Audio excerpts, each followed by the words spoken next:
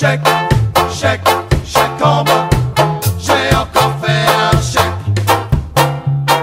Chèque, chèque en bas. Encore un chèque en bas. Je suis à découvert, me voilà dans le rouge. Mais faut pas s'inquiéter. Si le téléphone